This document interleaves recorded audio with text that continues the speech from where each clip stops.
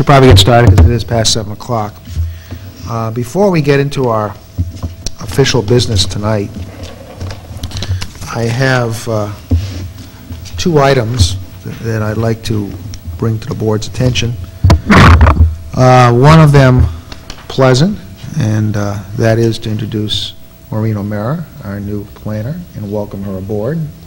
Maureen and I have already started working together this month, and I think it's going to be very, very useful and helpful procedure to have Maureen on board. I think it's, this packet that you've got is an indication of the kind of uh, work she's going to be putting in. It's going to be a, a real help to us. And so welcome aboard, and we're looking forward to, to working with you.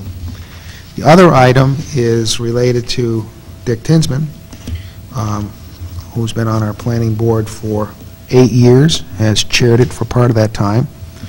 Uh, Dick has just uh, been called up to active duty in the Coast Guard, and uh, will be gone for an indeterminate amount of time, and has talked to me and Mike McGovern this weekend, and has indicated with great regret that he would be withdrawing from planning board activities, and as such, we will be asking the uh, town council to appoint another member. Uh, That's going to be an extremely difficult process, because if anybody knows Dick, they know what kind of a dedicated individual he is, and the kind of service he's given to the town, which includes uh, eight years on the planning board, uh, uh, chairman, at uh, at least for two of those years, town council, chair, Main Street 90, and member of the Cape Elizabeth Land Trust. Uh, So he's got a long and distinguished career in public service here in the town of Cape Elizabeth, and his services with us uh, will be sadly missed. So we wish him well in his duties with the Coast Guard, and we wish him Godspeed back here to Cape Elizabeth. On to the meeting. Uh, We have a lot of items on the meeting, um, but first thing I'd like to go over is some elements of correspondence, some of which you may have and some of which you may not have. Um, I've got two letters from the chairman of the town council, Phyllis Cogswell. One is dated October 31st, and I'm not sure, Maureen, whether this was copied for the entire town or not. It concerns an issue that we had as a discussion after the chairman of the Land Use Commissions met at our last meeting concerning designation of, uh, of bequests from developers, all going, seemingly lately, all going to the land trust, and all happening prior to the town, planning board getting a chance to review why or rationale or anything like that. The question that's being raised is, is the planning board involved in this program of deciding whether it's a gift to the land trust, or whether it's an easement, whether it's whatever? Um, And so it's, it's more of a letter in the questioning form, and I think that we should take a look at it and consider it. The other item is also from Phyllis, and it concerns um, a process that we go through every year, and um, I think it's a very useful process, and with Maureen on board now, new, I think it's going to be a good process for us to review, and that is the goal-setting process for the various boards and commissions in town. Uh, This is also another letter which I'm going to give to Maureen to, uh, to um, circulate, and uh, seeing that we're going to be going through some forms of changes of leadership in the coming months ourselves, with uh, my term being up in March, I- I'm going to ask if Steve Etzel and Maureen could take a look at this goal-setting process and see what would be needed to get a workshop set for January on this process. I think we should forward to the town council, uh, maybe not a lot of goals, but at least what our goals are. We've already done some work in the area of infrastructure, which we forwarded to the council. We've done some other things like affordable housing. Um, There may be some planning issues that we want to have the town council consider as long-term goals of the town, and uh, I think this would be a good thing for Maureen to do a little research for us on, and possibly give us some, some uh, benefit of her thoughts. But anyways, that's another area that I think we will probably want to do a workshop on. They're looking for our thoughts in February. Okay. um, Maureen, are there any other items of correspondence that we should be particularly sensitive to tonight? Uh, The only other item was a letter from um, the applicant of the Highlands Development. Mhm. Um, Primarily uh, a matter of information which the board may want to um, wait until the, the full plan comes forward to review in more detail. Okay. Yeah, I think this is the decision we made. We did not want to have an item on the agenda that, uh, that preempted a, a final plan review or a trip to the, to the board here by the, by the uh, applicant. We feel that those trips should be um, done once and, and done right, so we're, we're taking the letter into our correspondence file, holding on to it until the applicant comes to, before us with his final plan.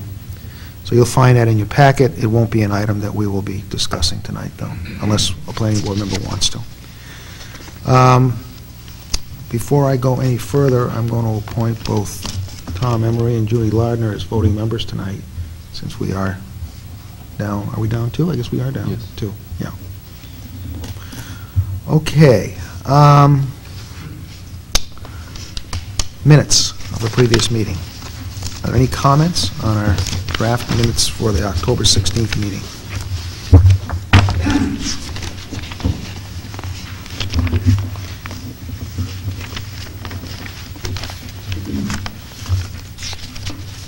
Comments? Hearing none, do I have a motion that it be accepted?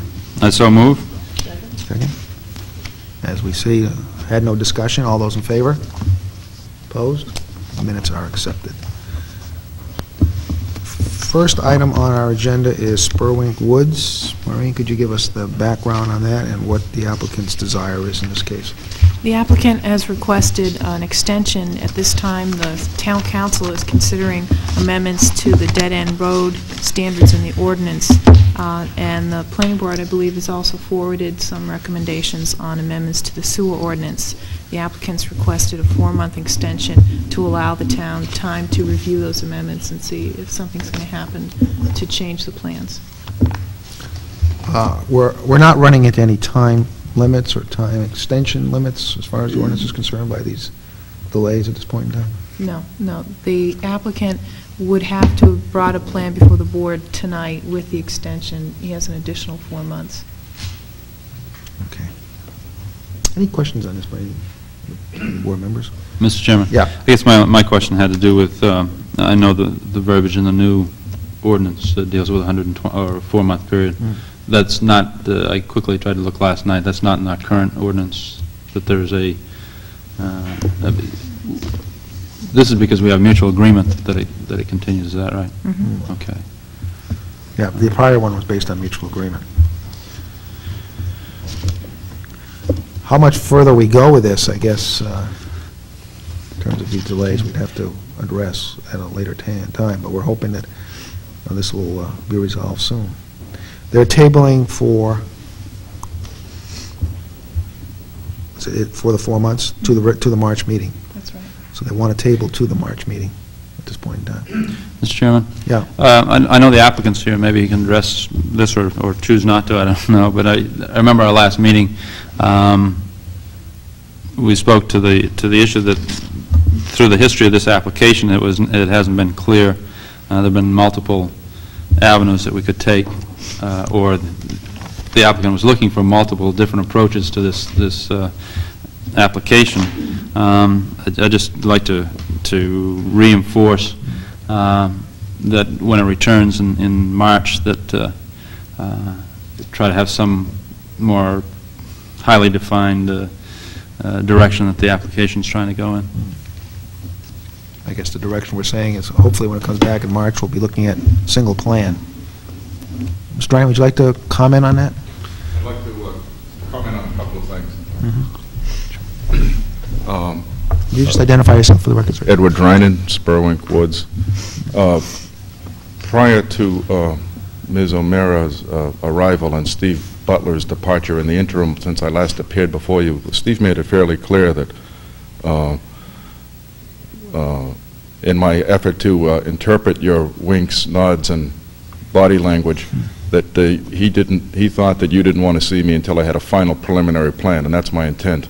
Regardless of action, which way the uh, council votes on these two issues, up or down, I'll be here at the uh, end of the agreed extension time, that is in March, with my final preliminary plan. Okay. Good, that's what we want to hear.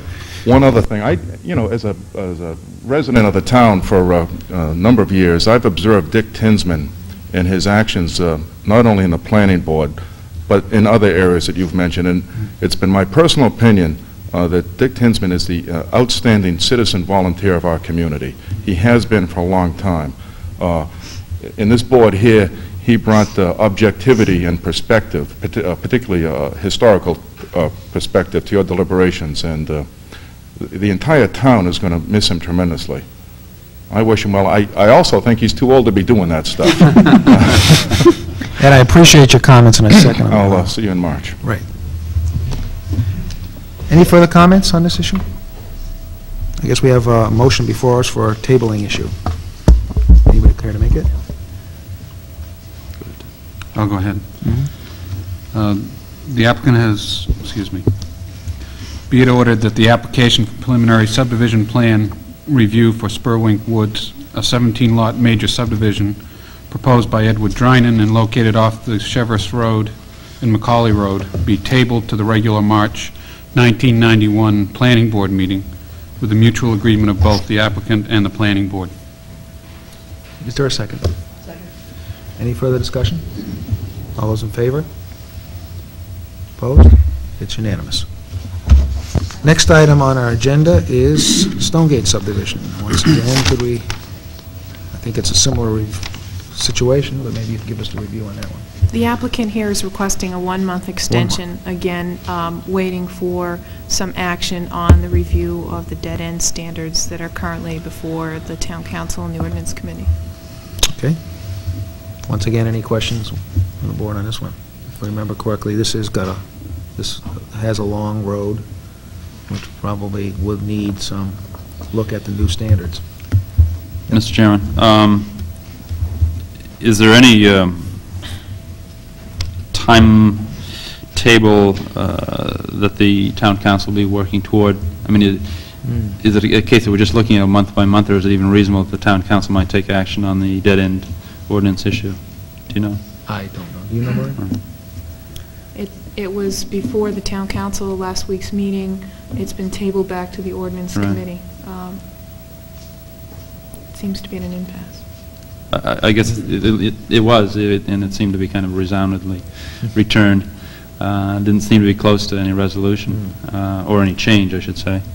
Um, I guess if it's the applicant's wish to month by month, I don't Yeah, see him here tonight. I don't know what we do in a situation like this. I mean, um, we we can't, I guess we can't force the issue and say, come before us. That's not part of our purview, so I guess if they want to keep postponing, they can. I don't know where the limit lies in this kind of a situation. But there is a limit, right, that they can't go beyond? I think that's up to the board. It's up to the board. Well, we may want to consider it.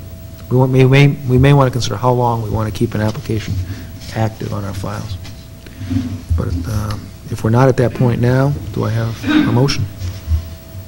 Uh, Mr. Chairman? Yeah. I'm sorry. Sure. Uh, th- Throughout this entire, th- uh, since this application been up, I uh, have abstained from voting due to a conflict of interest, Mhm. and probably shouldn't have made any comment, but uh, even with a limited uh, quorum here, I'll re- abstain from voting. Fine, but we're, we're all set anyways. Okay. Anybody going to make a motion on this one?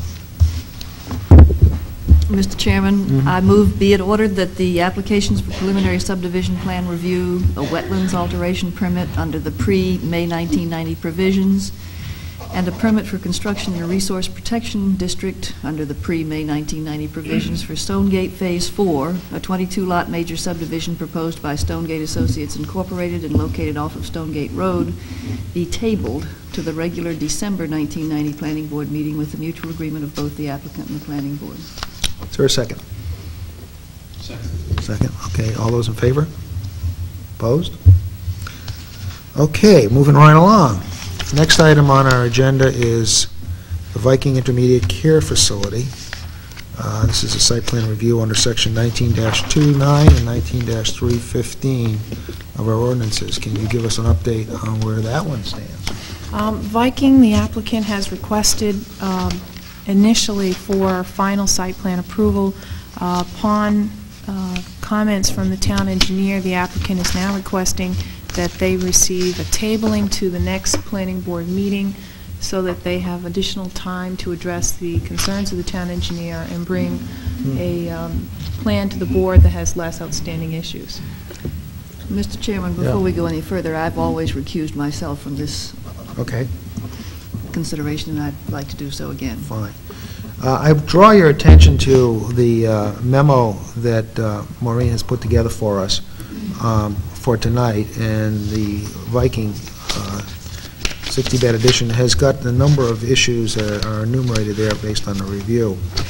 And um, it's my assumption that they're addressing some or all of those issues at this point in time, and are looking to uh, come back to us with a more complete proposal. So the request is for tabling, and I guess we have, once again, a motion on the draft. Do we have a motion draft on this one? Yes. We do.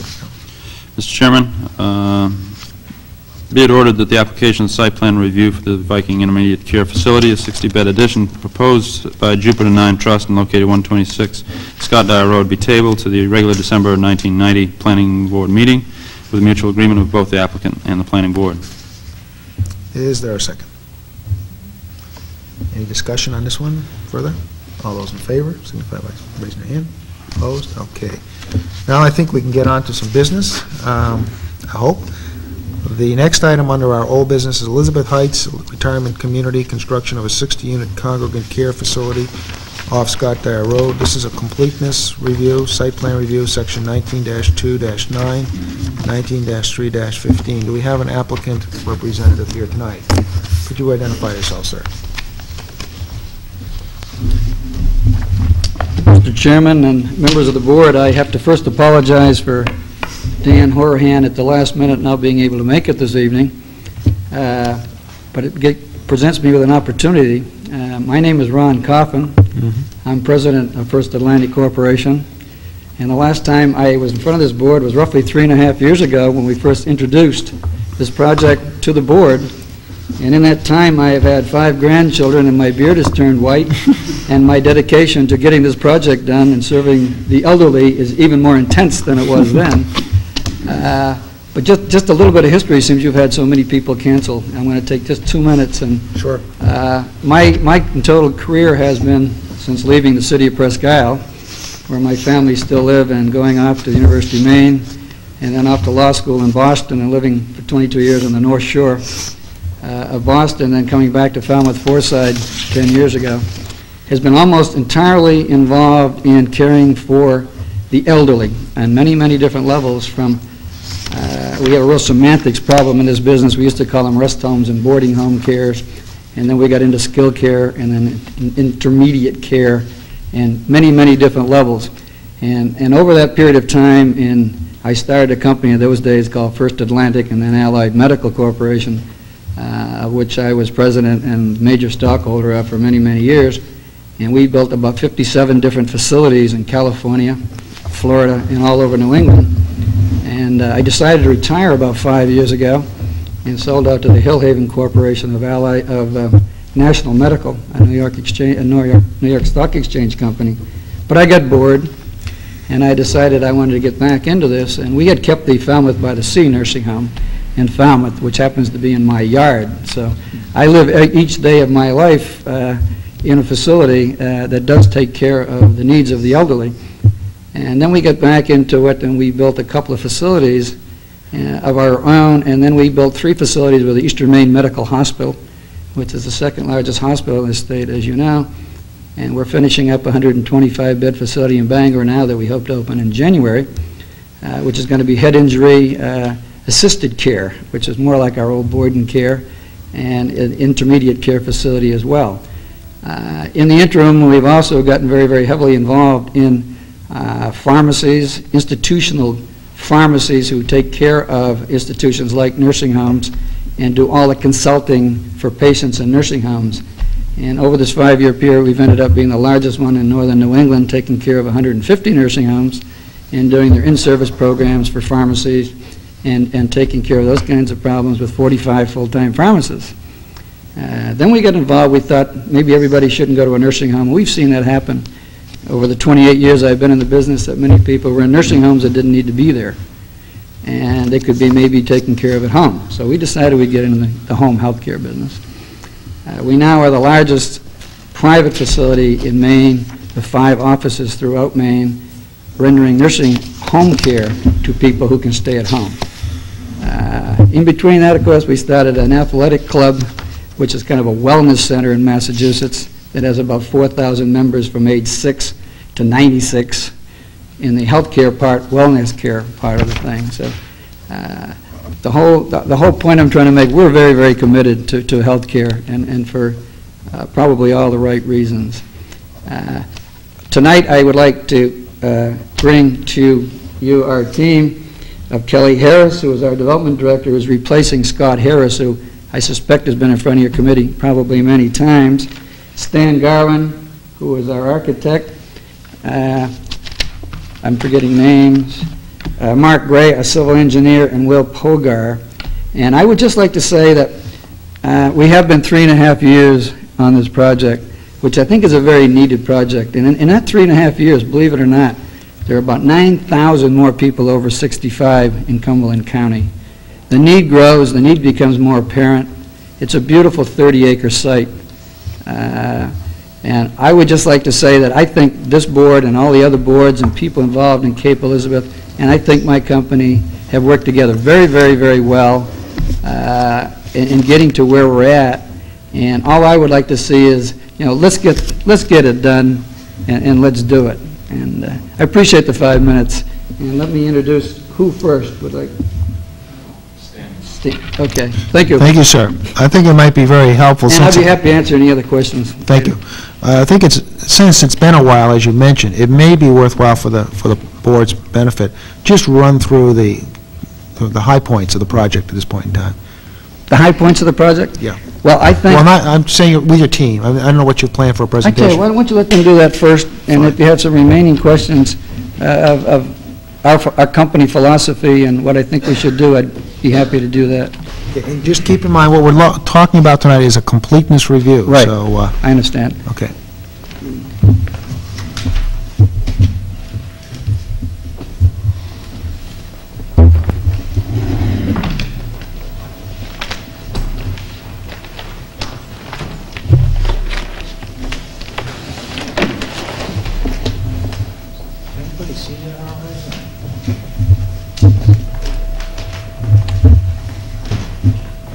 Camera angle? Can we, can we get that on, uh, on the camera? Can we get it on the camera?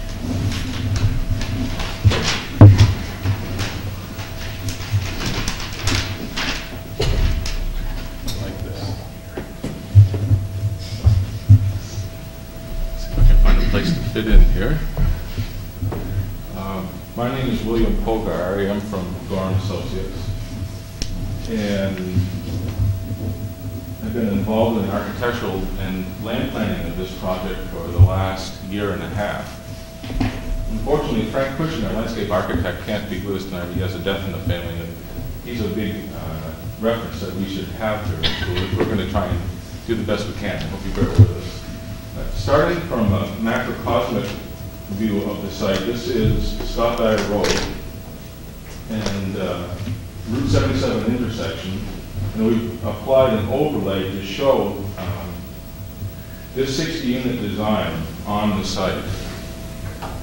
Um, As we go to a larger view that we see here, Scott Dyer Road and an entry drive and I'd like to point out how it has changed from our 75-unit scheme here. I hope you can all see that. On your, on your big overview, could you just point out the drive-in and the parking area and the buildings themselves? It's a little difficult to see from here. The drive-in here, There it is, okay, and the it, that, parking area, and then the Okay. entrance at this point. fine. Thank you. And that corresponds, actually, this should be turned Right. so that this end would be up in order to be the same. Uh, And this, in order to keep it the same, should be like that. Originally, we had done a linear building. Um, The, the the problem has been to try and, and fit the building in uh, without disturbing the wetlands, and we feel we have done it. Um, With the original building, there was some question about the wetlands, and we had uh, two consultants. Any chance you could elevate the drawing you're talking to right now? Yeah, Well, Okay. yeah. Yeah, maybe we're through with that. Yeah, that's good. Okay. Now, um, with two consultants looking at the wetlands, they were basically in agreement about it, but they had grown very slightly. And that prompted us to reconfigure the building from a linear building, as you see here, to one which has a slight bend in it, an elbow-shaped building. When we did the site walk, I don't know how long ago that was now, but that may have been over a year, so is it six months? Long time, it's been May? May, June. May, June. Was the design, that design there, or was it this design? When we did the site walk, it was that. It was design. that design, And okay. at that time, there was some question about wetlands mapping, and it was looked at again by First Atlantic. Okay. They, I hired another consultant and, uh, and redid it, and this is the result here. And they both met on site and, and agreed with um, the mapping, and we proceeded ahead with another design. At that time, we reduced the unit count from 75 units, that you see here, to 60. Um, We have reduced the length of the building by uh, approximately 100 feet. The location is still is in in virtually the same spot as before. Uh, One, one thing that we have done is we've uh, moved the parking and and the, and the building away from the 100-foot setback between the, uh, the adjoining pieces of property. That was a comment that they had made, and we respected it, and moved it back an additional 40 feet. And the, and the bulk of the parking is over on, on the opposite side now. Uh, The architectural features of the building have pretty much stayed the same. I didn't bring the original design that we've done, but uh, we've tried to do something that would be traditional in nature, and, uh, and we've tried to nestle it into the townscape, not to make it um, anything obtrusive. We've chosen to do neutral colors, so, so that at any time of the year, it will blend in better. And we've um, used detailing from, uh, from various turn-of-the-century styles, which you would find in Cape Elizabeth. The building has a, in in places has a stone veneer base. Uh, We would propose using uh, shingles, cedar shingles above, and the composition shingle roof. This area that you see here would be a main entry and the core functions beyond, and then residential wings on either side of that spreading out. That would correspond here to the, to the main core area and the residential wings on either side. Um, And the original proposal, we had had uh, game lawns and a formal garden, I think it might show here. And now, because of the wetlands, we have, we opted to tone that down a little bit. We would have a terrace outside of it, looking out towards a beautiful view of the marshes. And we hope to have uh, garden plots for the residents and amenities of that nature.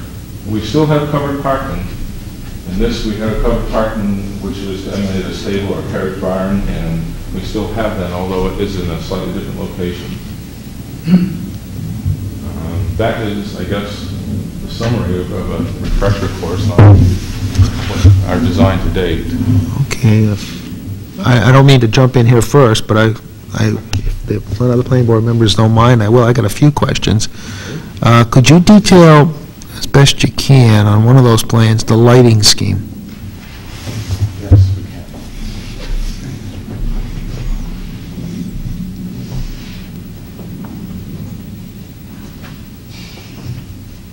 Let's. You want to handle? Funny thing, you got that all set, huh? Gee. One of the uh, the considerations with the lighting scheme as we're proposing it here is minimal wash onto the adjacent properties. And what we're showing here in yellow is the uh, brightest foot candle area. It's five foot candles in the yellow area tapering out to .125 at the outer rim, which is at about 100 feet in on our property. High-pressure sodium? Yes. I believe uh, you do in our submission Yeah. have uh, catalog cuts. We're looking at a uh, a carriage-type fixture with a recessed lamp so you don't visually see the light source. So if you're looking from your units, here in the little homes, you won't see the actual lamps or brightness of the fixture, but just the glow on the parking area or the surface. And uh, one of the things we did consider here is to really light this at a minimum level, but uh, you know, uphold the code requirements for lighting that roadway and parking lot. And especially where we're going to have uh, older people walking along here, we have a little low bollard lighting which really intensely lights their walkways to the buildings. Okay. Basically what we're proposing. I've got some other questions, but I'm going to let the other planning board members dive in at this point in time. Any questions I can direct at this point? Mr. Chairman. Counsel. Um, It was a little bit unclear, but, uh, and I realize we're we're still talking on completeness here, um, about the fire lane access. I believe you, the the plan here that I'm, this big plan that I'm looking at here, um, accesses one wing. I- Has the fire chief had a chance to to take a look at it? No need to to access the other? No, uh, we've checked with the state fire marshal and the local fire chief. We've also checked with the building inspector and begun the process of code review with him. And 15 feet is wide enough? And, yeah, and um, I believe by the code requirements, that um, the building height and area would not require a fire lane, but they've requested it for Mhm. access, and so we've managed to do that. And it's primarily, um, you can access the building from this side, and it has also drive around and access in the back here, so they feel comfortable with what we provided for firemen. Okay? I I would mention that we've also uh, have received a a preliminary approval letter from the state fire marshal for the project as it's been designed. Any other questions? I, I think uh, one issue, and- and uh, it's brought up in, in one of our uh, engineers' reports, uh, had to do with um, the feasibility study that was uh, submitted with uh, your original application, Um, and we've had a chance to deal with at least one other feasibility study. Um, I think it would be wise and and beneficial to us uh, to see an update of that 1987 um, feasibility study. Uh, Um, excuse me. We're in the process of having it updated by every year of my decision. Very good. Unfortunately, it wasn't ready for the... Okay, good. Uh, Just question on that update, will that update include experience of uh, similar projects in the area as to what they're doing in terms of marketing and, Yes. okay, good. I I happened, in my own course of business today, talk to two other groups uh, like your own in the neighboring towns to this, uh, and that his name, uh, Mr. Rickards' name came up uh, doing similar work, so I'm sure he's got uh, good good uh, source of data uh, for your type of facility, Uh, which, I mean, it- one of the reasons was that we're looking at another 100 units in a neighboring town, Um, and and I know that wasn't in the last feasibility study, and I- it's extremely important that, that, uh, and and it looks like you're being prudent to to include that uh, information in the feasibility study. Um, I guess one last question as far as completeness, uh, it has to do with the title, Uh, just a a question, in reading back through this, First Atlantic is- is the the full owner, the Get Associates are no longer have an interest in in the... Yeah, that's correct. Okay. I guess that's it for now. Okay. Um, For my benefit, uh, if I can jump in here, could you just detail for us where you're showing the sidewalk along Scott Dyer Road? Have you considered that in the project at this point? Yeah. The sidewalk now is shown along the, uh, the boundary which parallels Scott Dyer Road Mm-hmm. at this point in time. And To what, to what, ex- to what extent will it go? I mean, how far will it go? Well, on- on this plan, it's shown from one property corner to the other Yeah. property corner. But there's also a sidewalk from, um, I believe it's Longfellow or whatever the street is. Mhm. Yes. And, and comes up and parallels the access drive. Okay. So you don't plan to extend that sidewalk down towards Spurwink in any way? N- Not at this time, No, just, and, and not, and not in the other direction either? not at this time. I guess it doesn't have to go in the other direction, or maybe it, I'd have to look at it closer. Okay, what about trails in the area? Pedestrian trails, Uh, preservation of, extension of? The existing trails um, have been maintained, Mhm. are still in existence, and I believe that uh, when Dan was involved, and I don't believe there's been any change in that, they, they would welcome the uh, townspeople using those trails. Um, I think th- I- there was some discussion about perhaps limiting the hours of use on that during the first time, just to, to- so that the residents could feel uh, security, I think was the main reason for that. Mhm. But there has been no change in that. Okay. Um, Maureen, are there any questions on completeness at this point in time? Um, There were some minor, there were some partial issues. One of them was that um, the plan failed to show the location of the dumpster.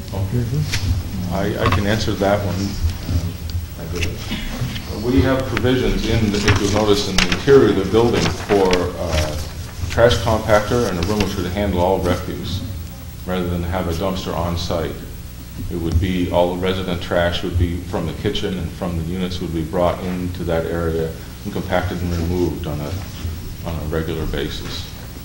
And I believe that that eliminates the need for a site dumpster. I hope we see that. Um, I I also believe that um, although if you use a scale, it seems that the project more than meets our requirements for rear yard setback. That that dimension is not shown on the plan. Okay, I'm not sure about that. And Frank would know that, but I, uh, on this drawing, I don't see that, and I don't know on the others.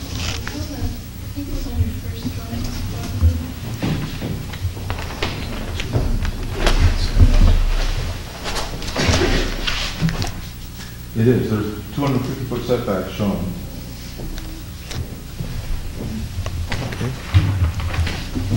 And that would be on sheet L1 of the drawings that you have.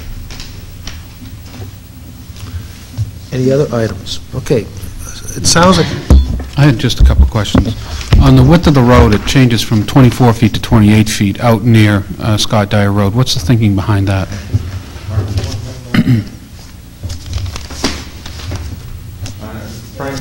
was the major uh, mover and shaker in that and the road design, and I, I refer to Mark as a backup. other. Okay. Hopefully I can answer that question. Yes, I think I, I think I know. I think it's just to give a little bit more generous room to negotiate the curve uh, as it approaches the Mhm. intersection. Those two sh- curves? Okay. Um, And I saw a note regarding the elm tree, uh, something uh, pertaining to fill, uh, placing stone or crushed stone uh, below the fill around the elm tree. Uh, It would be my hope that there's no disturbance whatsoever around the elm tree, and I think that the driveway should go anywhere that it has to go in order to avoid that elm tree. I know that that's not a completeness issue, but I, I'm very adamant about that. That's uh, not a tree that comes easily. We asked for um, visual impact, uh, some sketches or something, and uh, you provided us with quite a detailed study that I frankly have not gone through in detail, but uh, I would like to thank you for that. It's uh, one of the more complete visual impact analyses that I've received since I've been here, and I appreciate that and hope to use it for the next presentation. thank you, Mr. Orr. Any other comments? Well, um, I think I could say we have a pretty complete application here. Um, Can I entertain a motion to the effect of the completeness of this application? Mr. Chairman? Yes. Um, I have a question for the board. I live in Elizabeth Park, and while I don't think I have any conflict of interest, there certainly might be the appearance of that, and I would like the board to know that, if you would like to excuse me.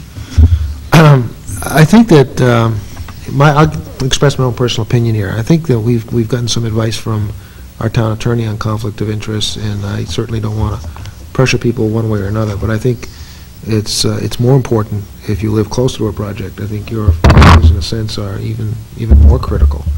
I don't view that as a conflict of interest at all, in my opinion. I, I don't see it as a conflict of interest by definition, but I think you have to answer yourself it's a- if it's a matter of bias. In other words, you, you feel so strongly about this that you can't possibly vote, uh, uh, it would sway your vote. I live close to, in close proximity, say, to uh, Spurwink Woods.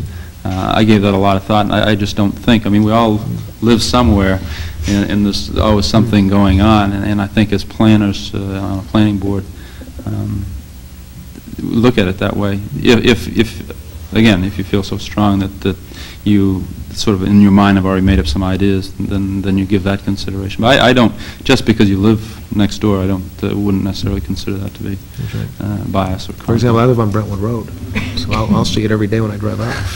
I feel that I'm not biased, but I thought the board should know that. Okay. Are you, excuse me, are you in a butter? No, I'm not a direct Okay. butter. Any other comments, questions? Can we address the completeness issue? I would entertain a motion at this time. Mr. Chairman? Yes. Be it ordered Ms. that the application for site plan review of the Elizabeth Heights Retirement Community, a 60-unit congregate care facility proposed by the First Atlantic Corporation and located in the vicinity of Scott Dyer Road and Longfellow Drive is deemed complete in accordance with Section 19-2-9 of the zoning ordinance and the facts presented, that the planning board will hold a public hearing at the regular December planning board meeting. Is there a second for this motion? A second. Any further discussion on the completeness issue as we've seen it presented tonight? I'll call for a vote. All those in favor, signify by raising their hand. Opposed? The application is deemed complete, and there's some administrative details that go along with that, which Ms. O'Meara will take care of, but there's one that we have to do, and I think it would be prudent at this time to schedule another site walk. Um, been since May, but the design has changed somewhat. Uh, We've got some issues, uh, we've got a very good, as Mr. Emery indicated, um, plan to look at in terms of sketching it on the site. And I, for one, would like to go back and take a look at that with my, that in my hand, so I can view it a little bit. We've also got some questions of height and bulk to consider, and I don't know whether there can be anything done about demonstrating what the ultimate height of the building's going to be when we get out there. I know you tried balloons last time, and that didn't work out, so I, I don't know. I leave, leave that to the applicant if there's a way of doing it, but I, I would propose that we, we go on a site walk before our next meeting where we're going to have a hearing. Uh, What does the board feel about that? Also, I think we have some new members probably that haven't walked this site when when it was an application. I think that's valid. Okay? I, I think last time we took the, the site walk, we considered it to be a preliminary walk at Yeah. that time, uh, anyway. And we- there are some changes in road and so forth. Our next, our, our regular meeting would be the 18th of December, so we would, we should try to get it in prior to that, obviously, and I recognize the holidays are, are in the way, but what I would pro- propose would be, um, I think we're on weekends now, we have no daylight left at the end of the day, so it's going to have to be a Saturday. And the first Saturday that I th- could do it would be the 8th. Is that a Saturday that other people can? I won't be here. You won't be here. Let's see, the other Saturday, no, it's the 1st. What about the 1st? I guess I am going to be around the 1st. First is all right. Is the 1st okay? Sound like that? What about the applicant? Is December 1st a possibility? It's a Saturday? Am I getting a yes? I'm sure we can make it. I'm Am I getting a yes? Okay. Um, I think it's the only one we're going to be doing. I don't think there's any other site walks that are going to come out of tonight's meeting, is, not that I can think of. So uh, what about 10 o'clock? 10 o'clock? Okay, so it'll be 10 o'clock at the site. Can we, can we drive in that site? We can't, can't we? Um, Recommendation is we park along Scott Dyer Road? Okay. Or Longfellow? Yeah, maybe Longfellow. Yeah, that might be better, huh? I can walk over, so I don't have that problem, but, uh, okay, so it'll be 10 o'clock, Saturday morning the 1st, for a site walk, and we will be scheduling a public hearing at our next meeting in December on this project for preliminary plan approval. Thank you.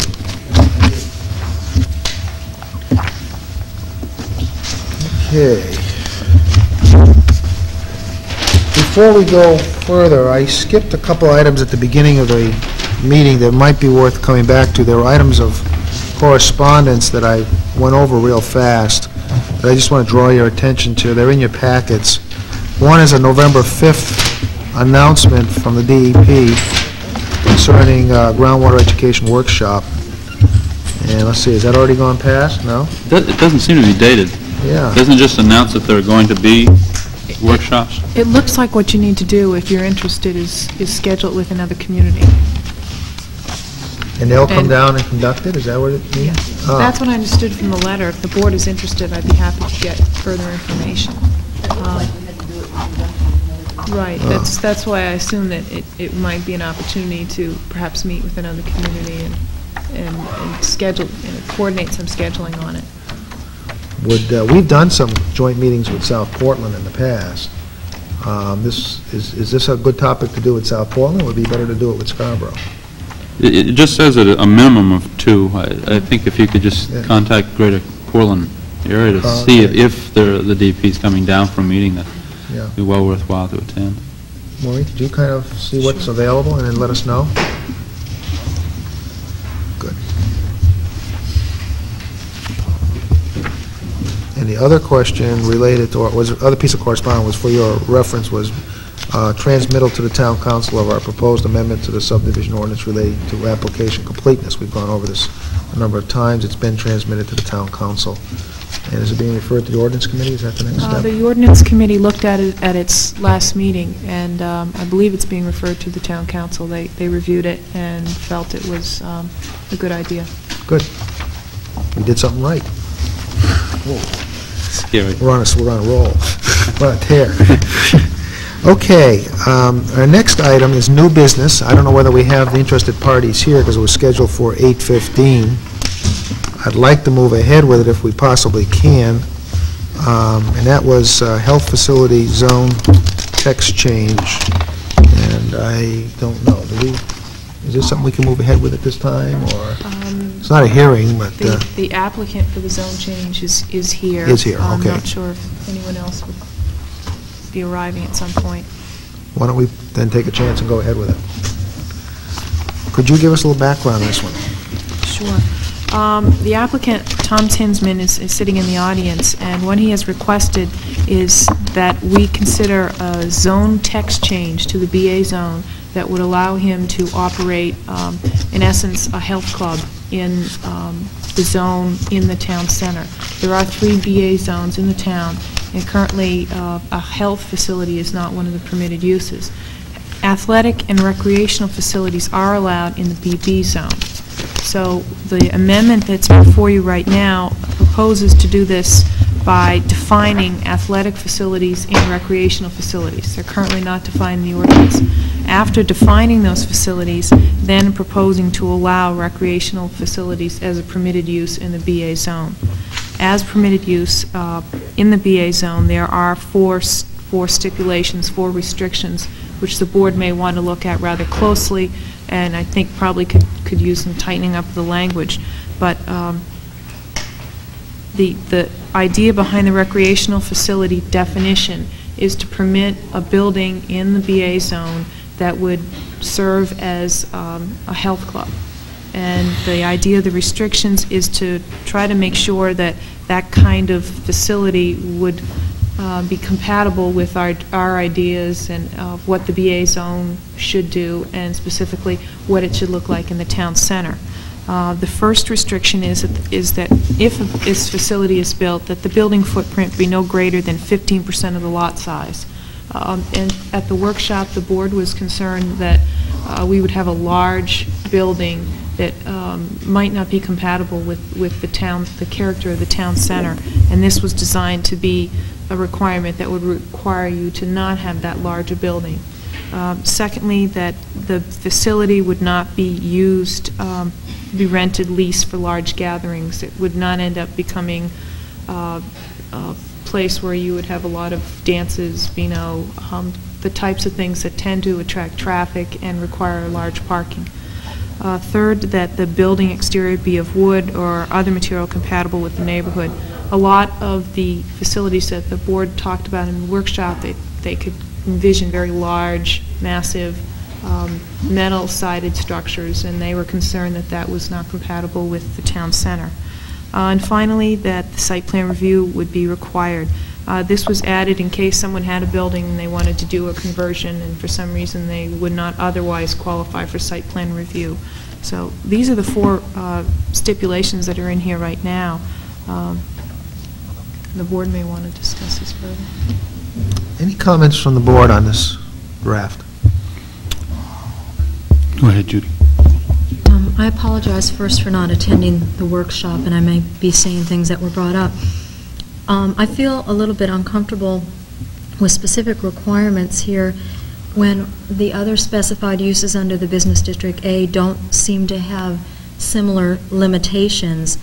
And I was, and I can understand why there is some concern of not having a massive building, but I wonder if, for instance, someone could put on uh, the same lot, a perhaps quite large restaurant, and could have a lot of freedom in their building exterior, why this particular facility would be limited. Um, I I don't know if that was discussed, but I just have problems. If, if these are major concerns, I would almost rather see them separately and apply to all um, businesses if, if the size is of concern and the building exterior is of concern. But I would like to know why the board arrived at that. Any comments? I was not at that meeting either. Any comments from other board members who were at that uh, workshop as to why we're treating this application or this project Th- differently? This is not language that was recommended by the board as such, is it? No. It was just a response to concerns we raised about the particular project. Um, The issue of ownership pattern under the definition of recreation facility, is that an unusual aspect of a definition in an ordinance? Does use and ownership uh, necessarily have one thing to do with each other? In other words, what what he's, what uh, whoever has uh, drafted this language is is saying is that a recreation facility can only be open to members and guests. It can't be open to the public.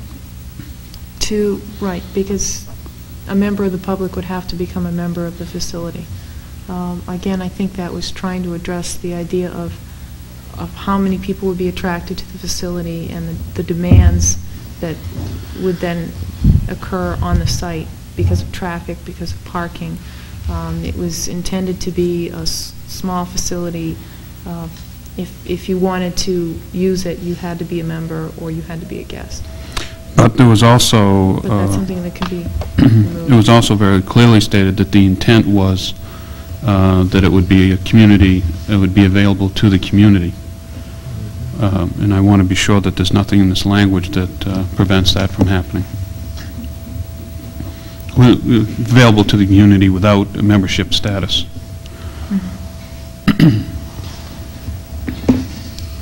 Is there anything in the ordinance now that, uh, Well, Tom, I I think, if I'm reading this correctly, this would be prevented the way it's stated right now. Uh, I don't Excuse think it would be, I don't think membership, I don't think tenants at gatherings in this building would be allowed unless you were a member, the way I'm, the way I'm reading this. that's correct? So, you're, but you're saying you- you'd like to see it be the other way, where if you yes. lived in the community, you could be able, you'd be able to go to that facility even if you weren't a member. Well, I'm not saying that. All I'm saying is that Mr. Tinsman said as part of his presentation to us that the second level of the building would be ama- available to the community, that he was working with community services to provide additional space for uh, children's uh, age group uh, basketball practice, those sorts of things. Okay. Uh, Through the chair, um, I'm sorry. Go ahead, no. Uh, I think the reason I I did include that is the assumption was that by providing that, that space to the community, it would be on a contractual basis. And in essence, the Community Services Division, which would be providing those services, Becomes a would member. become a member of the club. I guess I'm a little naive. I didn't hear that, but uh, uh, that would make economic sense. That's certainly sh- uh, clear. Is there, under the definition of parking facility in the ordinance, a stipulation for parking? Under recreation facility, is there a stipulation for parking? There is no specific requirement um, that relates to recreation facility. Uh, You could either apply the service, the service, the requirement for service establishments. I've also requested that the town engineer look into any specific requirements that might be available through the Institute of Transportation Engineering, and he is doing that now. Okay.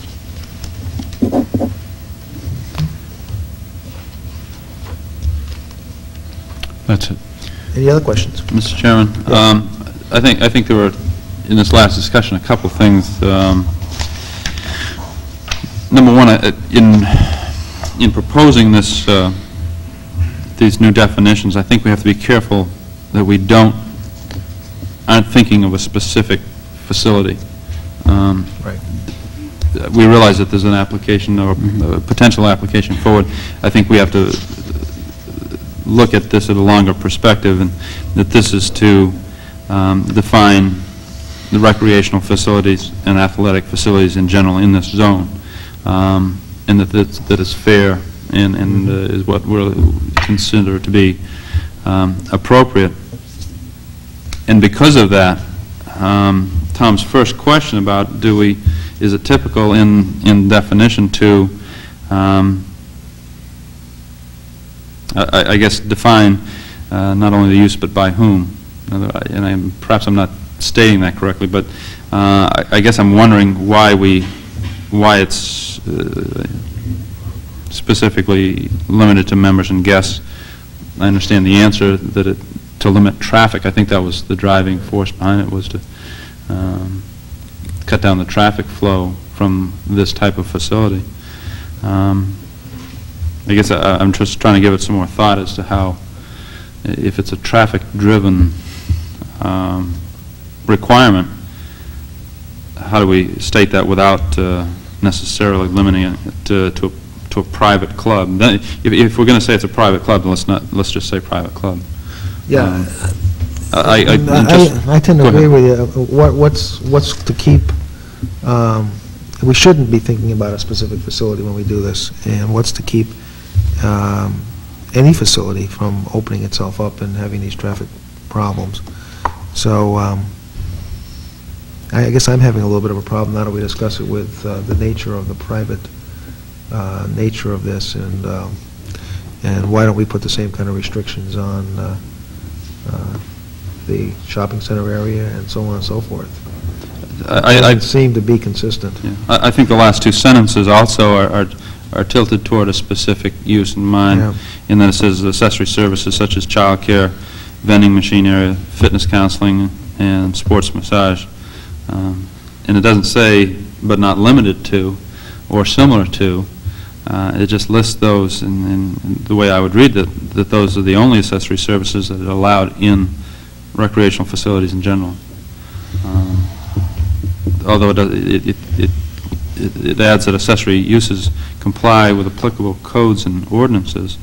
Um, I guess I'm not sure what that really means, uh, but maybe that that covers it. I guess uh, in the other sections below, um, number four, says uh, the site plan review, uh, Maureen, you mentioned dealing with conversions, but I take it that's not limited to, the site plan is for all Right. Recreation facilities. Um, And the percentage of lot size, is that, did did you come up, or is is 15% a typical percentage of- of uh, lot coverage uh, for that type of facility, or? or- Well, the way that we came up with the fifteen percent is the applicant's lot and the size of the building he's, he's currently thinking of is under fifteen percent. So fifteen, I- I guess my, my concern would be, and it certainly is a number that, that you could play with and change, but it, it seems that, um, especially in the town center, um, most of the buildings tend, don't tend to be of a massive size. And that, that one of the largest impacts you could have on the town would be if you did have a very large building go in. Um, But that, that's, that's really a policy decision for the board. Yeah, I I understand the- the the purpose of that, not, it is to restrict massive buildings on smaller lots, and just, um, again, I I think we have to stray away from limiting it to this one application, that that happens to to fit under under that. Um, And I didn't look quickly enough in the other sections of the ordinance to see if there's any other reference to percentage of of, uh, um, of of lot coverage by the structure. But I I think we need to tie that to something that's equitable throughout the, uh, the ordinance uh, use, or the zoning use. Um, Guess that's my, my comments. Any other comments? Mr. Chairman, I, based on the discussion, I guess, that we've had so far, I wonder if perhaps what we would like to do, or I think what I'd like to do, is to define recreational facility just as an establishment designed or equipped for the conduct of indoor sports and promotion of physical health and fitness. In other words, the first sentence, but Mhm. deleting open to members and guests, which is, and delete the rest of the um, paragraph, perhaps add something that says about uh, accessory uses, and, and have permitted uses be a recreational facility, provided that site plan review and approval by the planning board is required, because I think that the concerns about um, percentage of lot coverage and parking and those kinds of things would be things that the planning board would take into account in the approval process, and it would be awfully difficult at this point to try to anticipate what would be the, you know, a fair kind of um, set of qualifications to impose. So basically, what you're suggesting is that uh, items one, two, and three are really site plan review items, not items to be included in an ordinance that uh, restricts our considerations. Is is that what I'm hearing? Yes. Okay. Well, uh, so long as there, the uh, existing space and bulk standards for this district is consistent with this proposed use. And I don't know the answer to that. Yeah.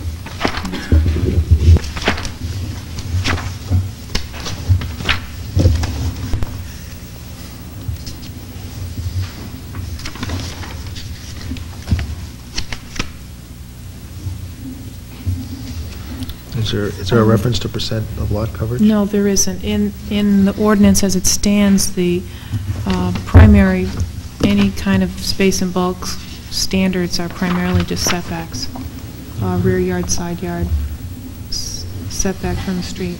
And what are the nature of those in this zone?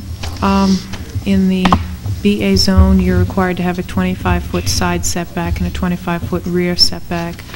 Uh, And since this is on an arterial, it would be a 50-foot setback from the street.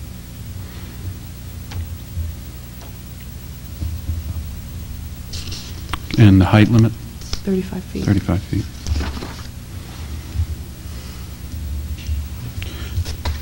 Are- Are you done, Janet? I had uh, just two other questions. One, there was some discussion about making it a conditional use rather than a permitted use. Um, And I offer that as a suggestion in that this is not, I guess, the typical use that one thinks of in terms of a retail center uh, or, or a commercial center. Um, And that it warrants the additional um, scrutiny that conditional uses uh, require.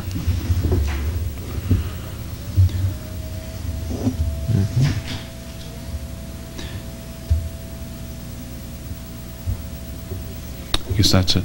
Okay.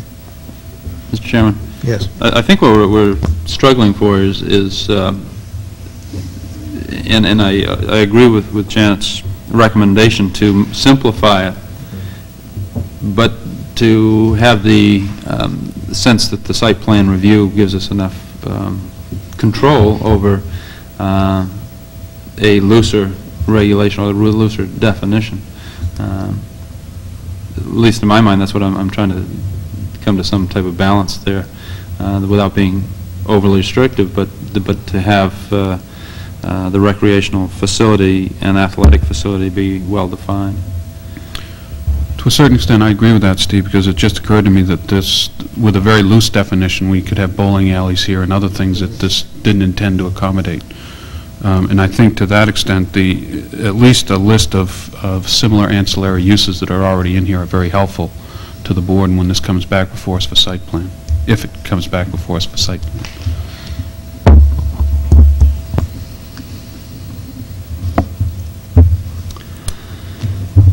Have we collected the comments here? Maria, sufficient to uh, summarize? Um, Any further suggestions?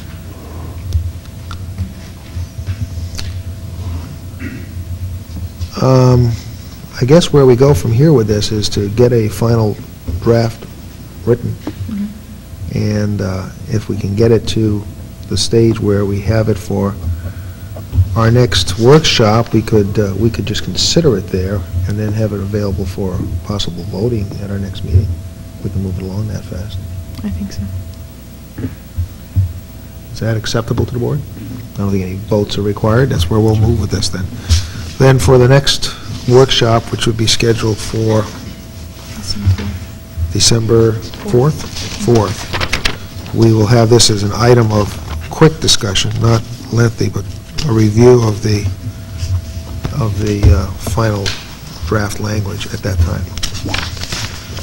Okay, thank you.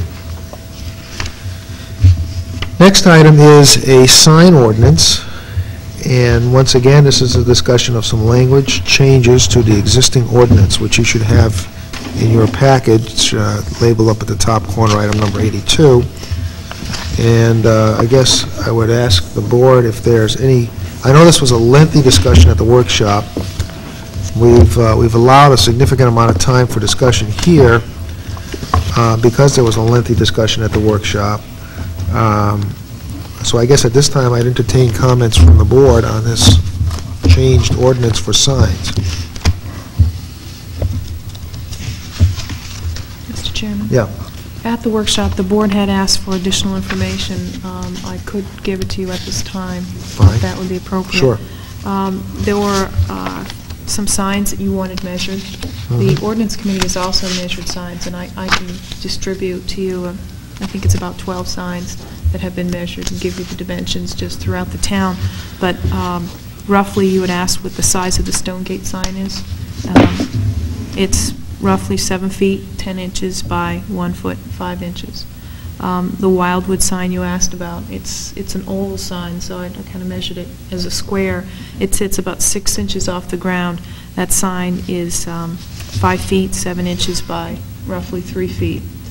Um, A a third question was um, the height of the canopy in front of the Mobil station, and that is 17 feet. And I believe there was also a question about the height of the sign in front of the Irving Gas Station next to Town Hall. Um, The total height of that sign off the ground is 18 feet. So the 20-foot limit doesn't sound like it's been exceeded? Uh, No. No. Uh, There was another question about uh, how to define normal maintenance, which was on, I believe, the last page of the handout. Um, One way we could do that, and I can save this for later, um, would be to um, state that it shall include activities that keep signs in safe, presentable, and sound structural condition, such as replacement of defective parts, periodic cleaning, and painting. Um, The last question, the- one of the last questions the board asked was, um, what communities typically use for uh, an amount of time to allow non-conforming signs to come into compliance. Um, In the brief research I did, there are communities that use amortization schedules, and they range in timeframes from three years to 10 years, and they use different techniques to um, have applicants over time bring their signs into compliance. We've gone with a straight six years, is that right? Five years. Five years. Any comments, especially from people who were at that workshop? None. I've, I've got a couple that I'd just like to throw in. Was there any discussion, and I, and it may be here, and I may have missed it, of um, the situation that may occur if an, if an individual modifies a sign? Uh, Say a sign is, is in, uh, under an older ordinance, not this one, but, but a prior ordinance, it's been there for a while, and the, and the person wants to change the sign. Uh, Do we have a provision whereby if that happens, they now fall under this new ordinance? Can we do that? Somebody wants to go in and change the sign dramatically, or not even dramatically, change the sign. Can we at that point in time say, aha, you now fall under the ordinance? Or should we? I guess is the question. Mr. Chairman, um, I also attended the town council meeting and addressed the the council uh, briefly on, on our discussion from the workshop. Um, And one of the issues that I mentioned to them, it was the difficulty in, in regulating change in, in- in, as it was currently stated, I think, in the last page. Um, May continue until such time that any change is made, um, what constitutes a change and so forth. And um, although we didn't discuss it a great deal, a lot of nodding and so forth is is seeing that that, that could be a problem and what constitutes a change. If, you know, is it, is it the replacement of, of the non-conforming part that, that, that constitutes the change? And if that's true, is that changing the light bulb of an interior lighted or Does illuminated? does that That that- constituted a change? And, Yeah. you know, all, all the discussion did was bring out the fact that that makes it very complicated. Yeah, Uh, okay. And not, uh, there's some, in the ordinances, some issues that address how the, the code enforcement officer and what his jurisdiction is, I guess. Um, But actually coming down to interpreting what that meant, it it seemed to be quite, uh, uh, quite loose and and not well-defined. In just, in general, in, in talking with the town council, um, I went through some of these issues, I also listened to the, the public debate or the public hearing, um, and they echoed a number of our concerns um, about, uh, particularly, I think, the projecting and suspended signs. Uh, There was not a great deal of, uh, and that was the consensus from our, our workshop, that there was not a lot of objection to that. It would, that that was a si- size-oriented type uh, uh, regulation on a sign, and that quite often a, a smaller suspended uh, or projected sign is much more effective than a large wall-mounted uh, uh, sign. Um,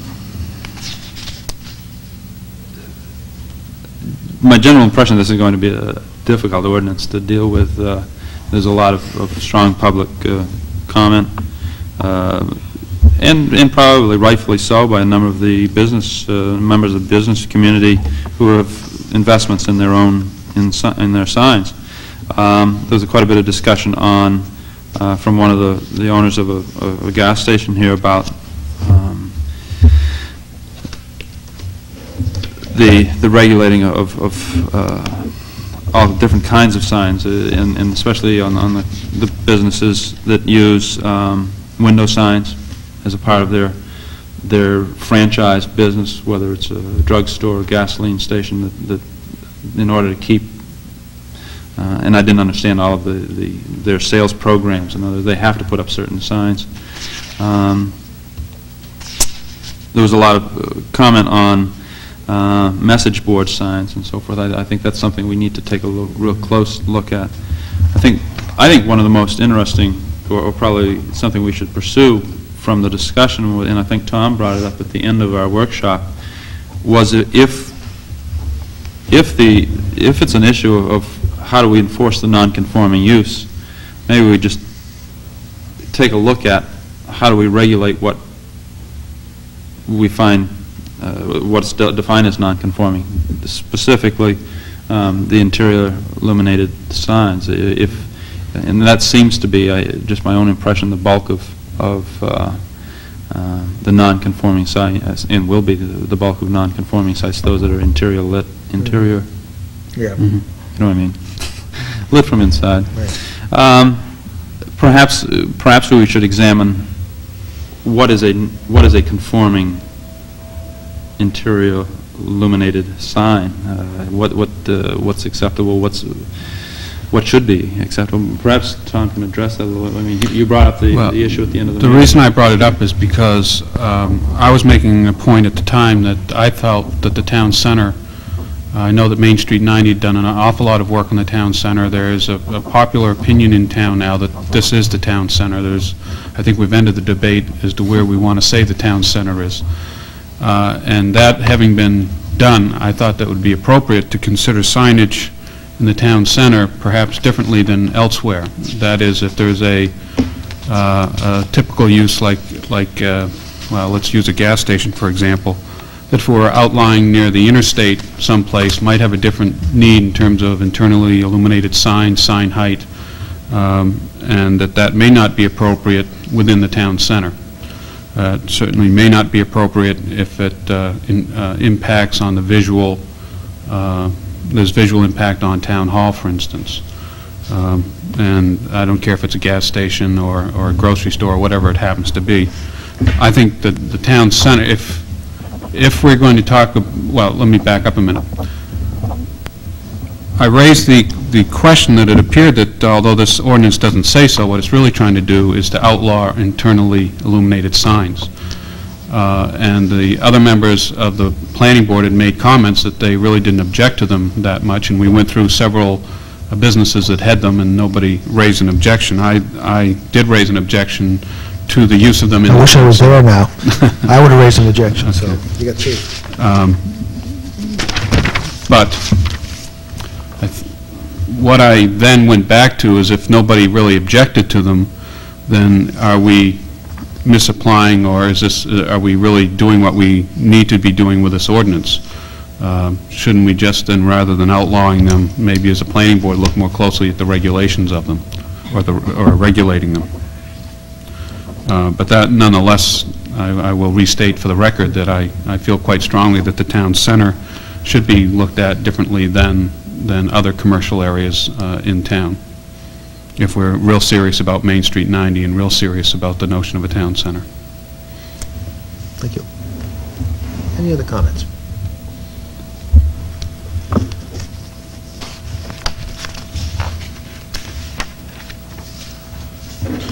Uh, That was to deal with that comment. Um, I don't know how, mon- do we want any additional comments in terms of the actual uh, language in the ordinance tonight, Mr. Chairman, or is that, there was, I know that I did make some comment about the 25-foot height, for instance, on wall signs.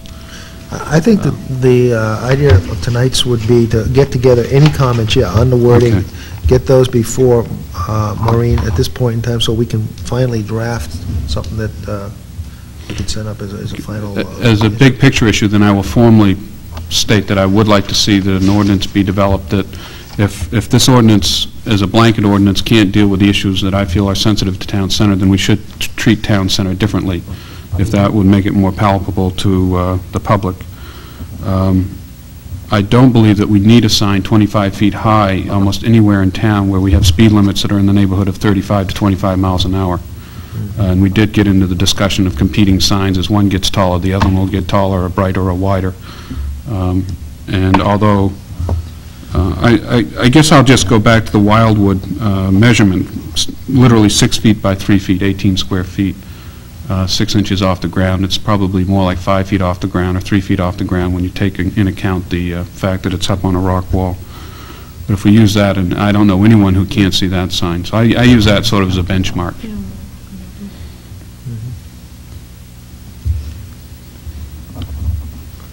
I'd, I'd like to add, Mr. Chairman, that, that, uh, I agree with Tom. You know, I was one of the, the members uh, in the workshop that, that, uh, as we were trying to come up with a consensus to take to the town council, that um, had no strong objections to internally illuminated signs. Um, I, I think it is extremely important that, that we, as a planning board, come to some solidity or, or or uh, consensus on how we see the town center. I think there's a lot of focus here. Uh, I've tried to, to give more thought and, and concentration uh, as I see that develop. Uh, Our town center, if we're aiming toward that, uh, presently is not necessarily a a pedestrian-friendly Main Street. It- It is Route 77. Um, built for traffic and, and uh, more friendly to the vehicle than it is to the person. Um, If we're trying to change that, then I think we need to incorporate um, signage and, and the sign ordinance to, to agree to what uh, I'd like to see in other avenues. I mean, uh, consideration of the other applicants uh, before us and those that didn't show up tonight, uh, the, perhaps any contribution that they could bring to making that downtown area more pedestrian-friendly. Uh, I I think it's going to take a real con- concerted effort uh, on our part as a planning board to, to see that come to be even in this coming decade. Uh, This, this ordinance uh, can make uh, quite a difference there, I think. Um, I don't have the answers. I I think it's extremely important that, that the general public uh, comes up to, if, if we vote to have a, a public hearing, and I take it we will, uh, that we hear a lot of people's comments, uh, and, and not just from those business people, but from the general public, to give us some sense of what they'd like to see their community look like. Uh, I recognize that, that uh, part of uh, New England character uh, is, is the small-town uh, character, but it's also, part of the character is the independence of not having anybody tell them what to put on their own property. Um, I have empathy for both of those positions, I guess, Uh, and so I, I think we need to take a long, hard look at it. Okay. I think we probably are headed for a hearing on this, and uh, I think it's something we should encourage public comment. Whether we'll get it or not is another question, but I think we should encourage it. Um, One question I had, was there any discussion on the church and other civic organizations having a 36-square-foot sign? Um, And how evident is that in town? How many churches and civic organizations have taken up? Do we know how many have signs right now, or would, could possibly have them? Where are you, Jerry? I'm on page, well, it's item D, under 22, 21.2-2. Signs permitted in all zones with a permit. discussion was why, um, we we talk about the the message board in in uh, 2-2D. Yeah. Um, I notice we have a new church sign in in town that has a message board. Um, Another church on the other end of town has a internally illuminated sign. Um, I can't, you can help me out, Jen, and perhaps it was, we were, how we, how we dealt with at the meeting, uh, the issue of the, the, uh, I I guess it had to do with that they were public announcements, uh, not selling of, of uh, uh, videotapes or quarts of oil or something, I guess was the, with the rationale of having announcements uh, similar to our, our fire station. Yeah. Yes, I think that's exactly correct. So it's primarily an announcement board. And we gave some thought to whether we would allow message boards in other places besides just these sorts of places, and didn't resolve the issue, I think. Yeah. Mr. Chairman, there was a discussion about, uh, for instance, one of the internally illuminated message boards, the brightness of that being excessive, uh, and I believe even the owner admitted to that. Um, And that's, and there was discussion about the separation of the issue of message board from an internally illuminated message board. Those are really two different items. I just parenthetically would like to comment that I do find it quite amusing that in a time of uh, rapid communication, uh, by telephone, fax, and everything else, we've finally resorted to uh, communicating with signs rather than, and I- the irony just strikes me that uh, the more we're able to communicate with one another, the more everyone wants to put a message out in front of their Yep. business to uh, re, re-communicate. I think the issue there is obviously, to some extent, it's a public service, and and there's also the issue raised about advertising. Advertising. Any other comments? I, I think uh, one thing that was brought up at the, the uh, workshop was the sense that um, competition does drive uh, the brightness, uh, the bigness, the flashiness of all the signs, and, and, uh, and brought up at the public hearing to the town council was, was um, uh, the sense of competition constantly came back up again. Um, And that's, it is true, it's going to be true. Um, I I think our our new canopy in town, um, I was struck by its brightness the first time I pulled up over the hill. Um, Tom warned us that it would be bright. Uh, It was true. Do we get used to that? I don't know. Uh, I I think uh, um, we have to look at all all of those items uh, and giving consideration. Uh, Mr. yeah. Chairman, I note that there are a couple of issues here that have question marks and that we probably need to resolve which way we want to um, go on the items that are not totally determined. Okay, let's go through them then. I guess the first one I see is on page four in twenty-one two B. Question is whether or not fifty square feet in area for each exposed face is appropriate, and it sounds from what we've heard in terms of the measurement that that would be acceptable, that we don't, or, or perhaps that we want to even lower it to thirty-five or something like that. That was, that was a question at the- at the workshop, was, uh, is that too big? Is 35 uh, sufficient? Um, uh, I think when we see your entire list of, did you have other signs that were listed for size like that? I I don't think we need them tonight, but I think, I don't think there are any other signs that were residential that, that were listed. It was just um, the information gathered by the ordinance committee, I think. I don't think there were any additional residential signs. The point in- in paragraph B was that the, this speaks directly to established neighborhoods, and the, and the need for a 50 square foot per side sign uh, was, was quite big. And that, that our established neighborhoods now um, are well identified with much smaller signs. I would think 50, would- my opinion would be 50 is excessive. Mhm. I would, I would be more comfortable with a 35 square foot, 36 square foot, 6 by 6, seems to be more than adequate to me. You got a point, Russ? Mr. Chairman, Yeah. there is one additional sign measurement I have for Riverview, which Yeah. is 10 feet by 2 feet. Still under 35 square feet, though, yeah. Okay. So it looks like we got some direction on item, on that item on page four, maybe less. Where else do we have? We have a question mark on the chart, I guess, huh? Yes, that was a question mark, having to do with glass storefronts and with um, the number of signs per 90-day period. The glass storefront, as I recall, had, we were thinking about the storefronts that were down in the shopping center at this point, point, the fact that some businesses allow coverage of more than 25% of the glass at this point, mm-hmm. the drugstore, for instance, for reasons which appear to us to be, you know, not necessarily something we want to prescribe. Yeah. Um, So I suppose the, the sense of the group, I guess, in, in the workshop was that perhaps we wanted to, to increase from twenty-five to fifty percent. Okay. I conveyed that, uh, both of those uh, at the council meeting, that those were suggestion, uh, sort of by consensus. Was there any response? Uh, no, other than head nodding. Um,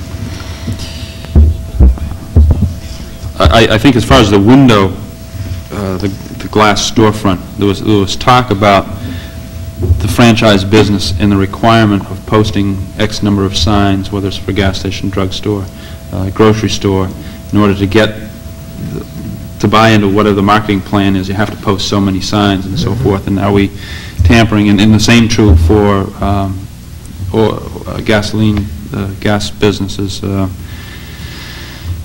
advertising the different signs to be on a certain plan, marketing plan with that business. That was brought up uh, a couple of times. It was also brought up that, similar to uh, other towns um, in southern Maine, if it's known to a franchise that this town has that regulation, most franchises will work with you. They're not going to pull out of an area. They simply know, need to know what the guideline is. I would, however, we, we we struggled with this glass coverage, you know. How do you, how do you send the code enforcement down, officer down there every week, you know? With a tape measure, Trying to figure out, let's say, 25% of this, and Yeah.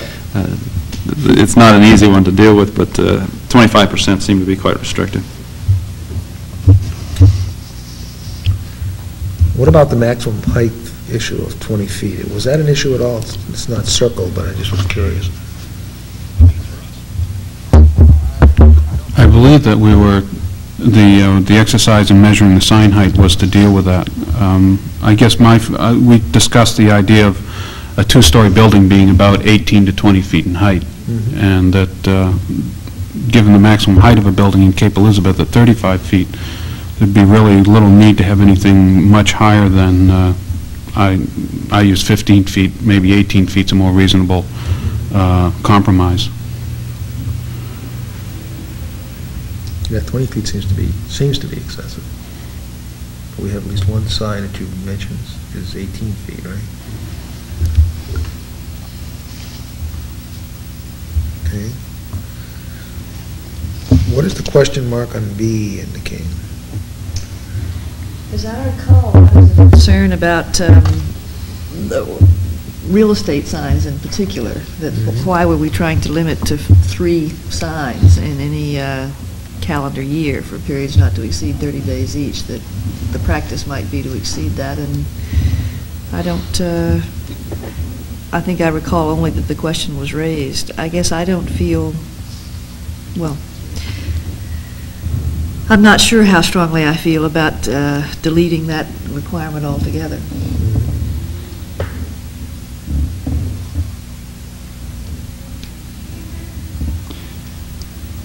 I think it's uh, an issue of just taking a closer look at what was the purpose of B Mm. there.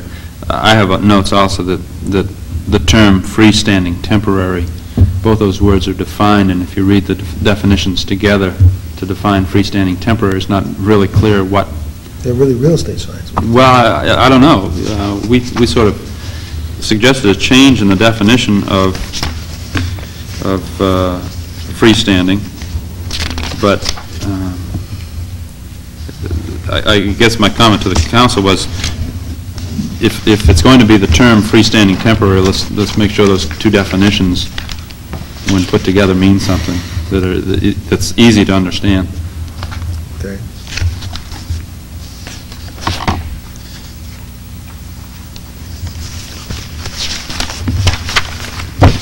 Yeah, Let's see, where else do we have question marks? Just on that same page, we were looking at two in the second column where it says permit issued by. The last two for, against awning and permanent window, you need to take the S off of code enforcement officer.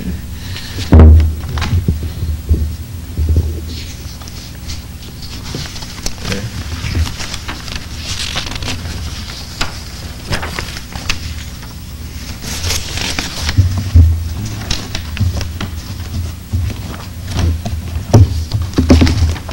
Looks like the only other question mark was whether or not we wanted to adopt the alternate language on the last page.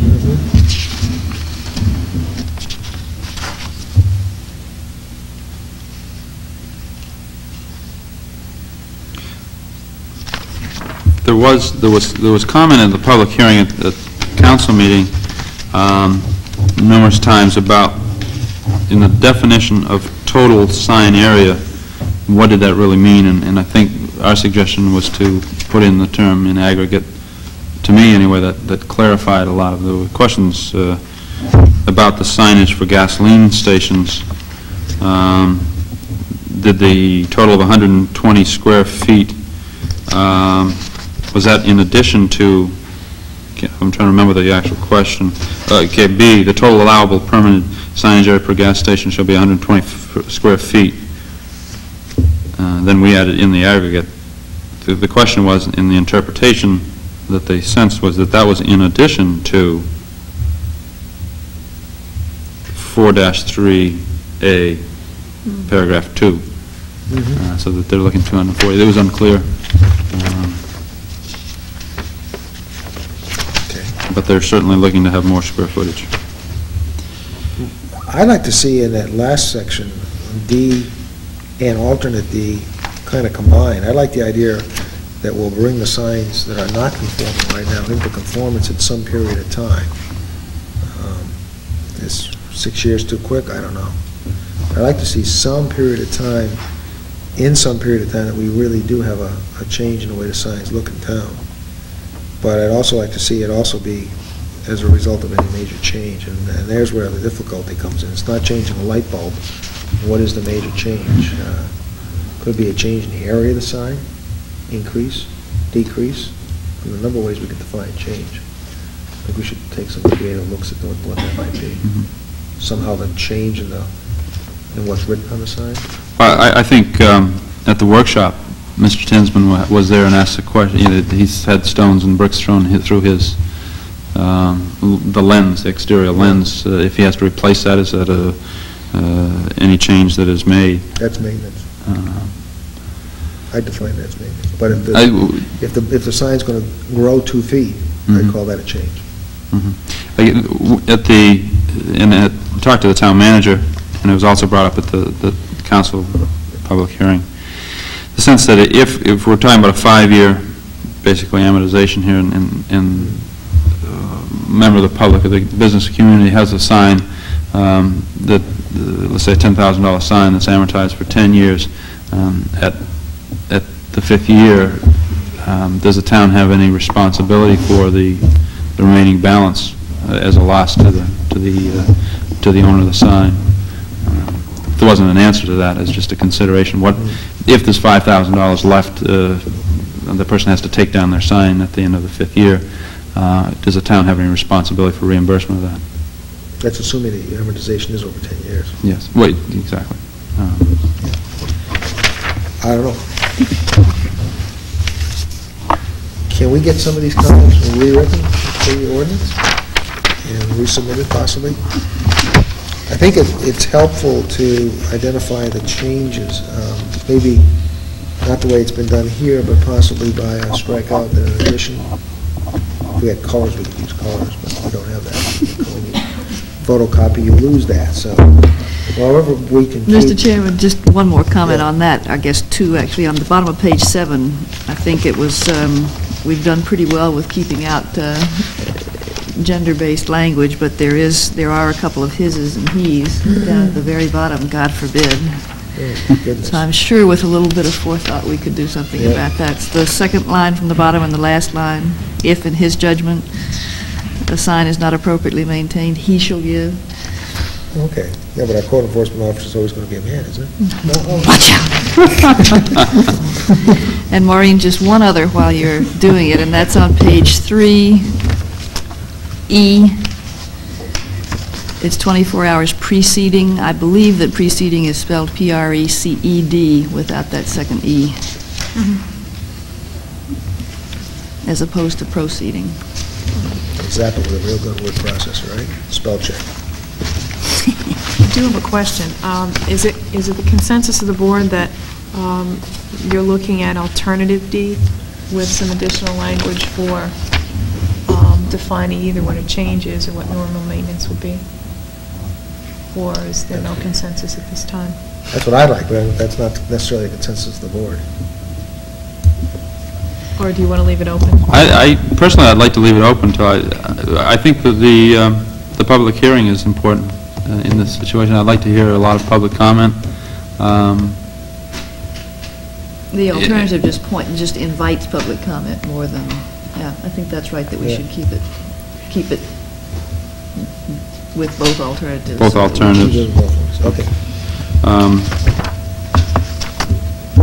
there wa- At at the council meeting, there was mentioned a couple times by the council, um, the idea of grandfathering, and I don't really understand, uh, being involved in another state law uh, where grandfathering is becoming a real issue, um, it's something I like to, I don't know what they actually meant by grandfathering, number two, it's something I think to stay away from, but... uh, I think what they mean is if the sign was in existence before we did the ordinance, it stays that way forever. And I think we can avoid that here. If we're going to do anything about the center of town and making changes to the center of town, we got to do something about giving a lifetime to these signs. Okay. um, Is that it on the sign ordinance? Uh, Steve, thank you very much for attending the town meeting. I think that was extremely helpful to have a planning board member there. Um, I think that uh, the council looks for our direct input, other than just through memos and letters, and I think that's an extremely helpful aspect of it. And I also want to thank uh, Janet and Tom for work on the, on the affordable housing ordinance. Janet's chairperson of that subcommittee, which we have now got some draft language before us to get started with, and I think, uh, I know I said in a couple of those meetings, it was not easy to come up with, and I'm very interested at this point in time, uh, Maureen, if you could just take us through what, what we have as a summary of that ordinance at this point in time. Mr. Chairman, uh, excuse me, does the um, sign ordinance uh, require any vote um, to, uh, to ask for a public hearing? Vote on the part of the- the board? Uh, Are we ready to do that? We might- We're going to have it, we're going to have to have it at the next meeting. I have no problem putting it in the form of a vote. Do I have a motion to that effect? I'll make a motion, be it ordered that the planning board will hold a public hearing on the proposed sign ordinance at the regular December 1990 planning board meeting. I second. Any further discussion? All those in favor? Opposed? Thank you, uh, Steve. That, that will get it scheduled in as a public hearing. I jumped ahead, but uh, shouldn't have. Uh, We are now, I think, Mr. Chairman, let me just back up too. Do We, we didn't take any vote, I think, on the health facility text change, but I think is the um, consensus of the board that we are not ready to do that at this point because we haven't um, finalized that text. well, I guess if we can be sure we're going to have some text at our, s- at our workshop. I I think what, We Ivan, could- what you said was that we would take some of those ideas and- and rewrite the text, and and we'll review it again at the workshop. We can't Uh, schedule a public hearing at a workshop, that's the only problem. We're gonna have a And then it would be public- up to the, n- the, it would go to the next uh, We'll go to January. Janu, oh, it would go to January, not December's. No, because as as Maureen reminded me, we cannot schedule a public hearing At in the a workshop. non-public meeting, and a workshop is really a non-public meeting. We may So- have too much at the December meeting anyway, Yeah. I don't know. But I just wanted to bring it to Okay. your attention. It would be my preference where we're so preliminary on that one and sketchy, that we see some language, mm-hmm. because, you know, in, in, in in December, we might see some language we we still don't like, and then we'd be stuck with a public hearing on an ordinance that we're really We not didn't like satisfied it. Right, so, uh, I- I- at the risk of, s- of moving that one out to January, I think we should actually have some language that we look at before we schedule a public hearing. This one, at least, uh, the uh, sign ordinance has been, a- it's got some history to it, so we've got something to start with there.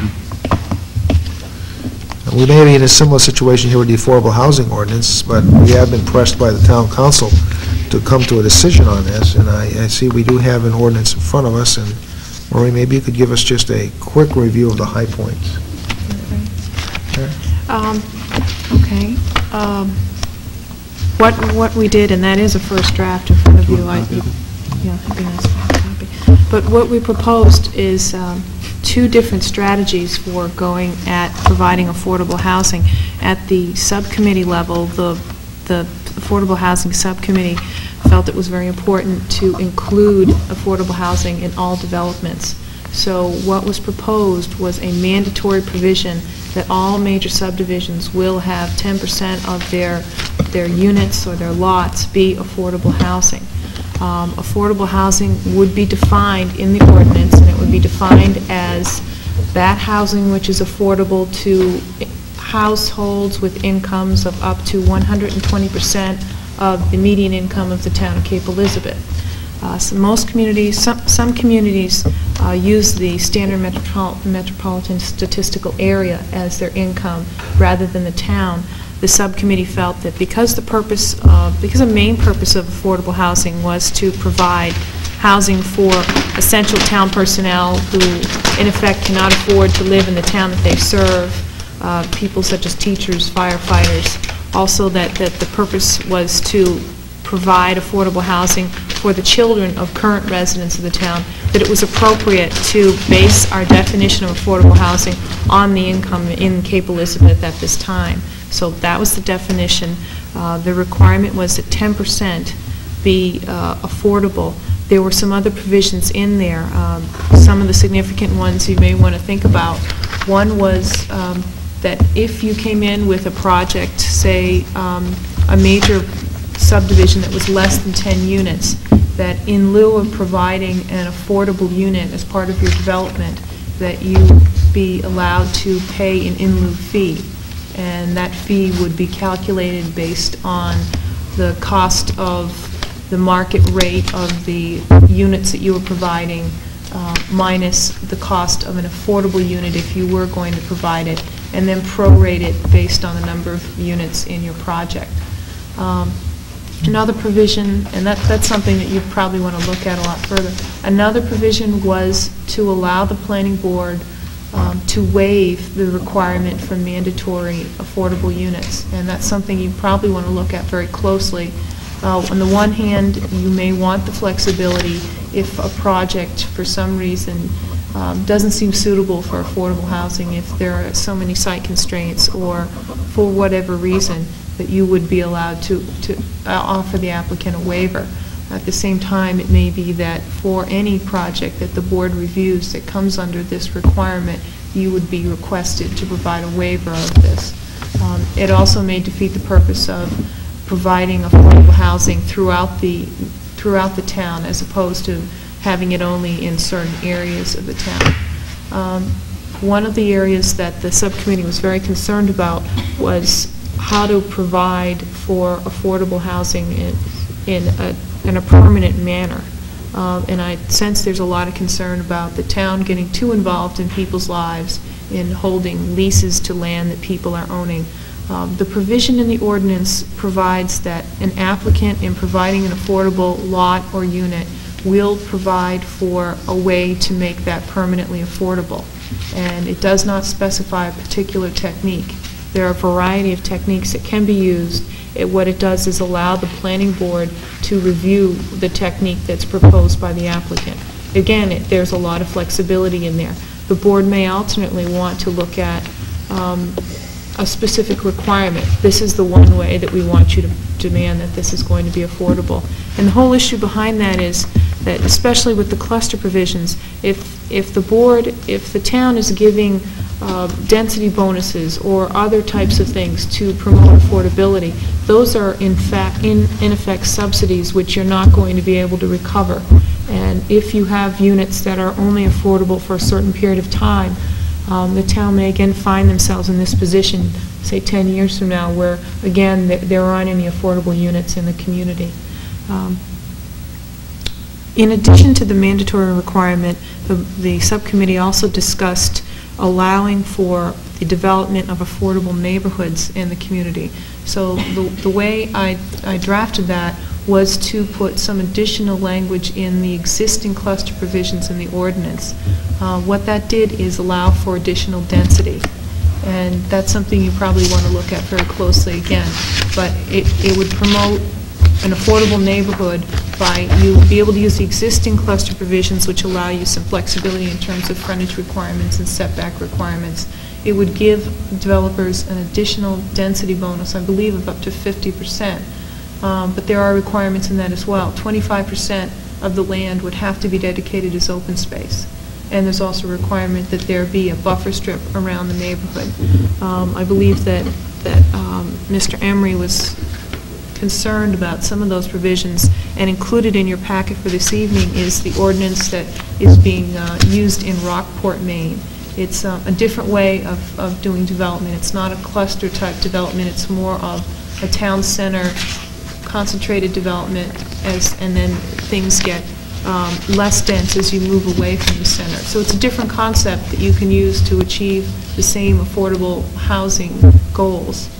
Uh, The one thing you want to look at at the mandatory is that uh, 10% of the lots would be required to be mandatory.